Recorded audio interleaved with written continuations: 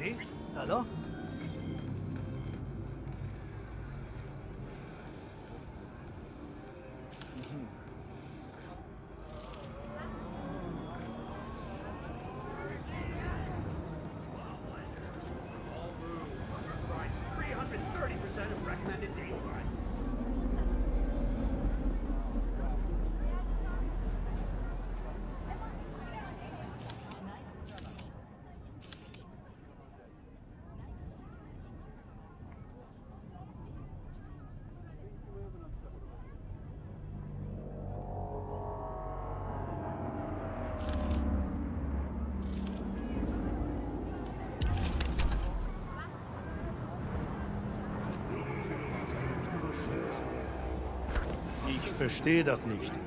Hat Arasaka nicht genug eigene Leute? Sehen Sie sich um, Sir. Die Stadt läuft heiß.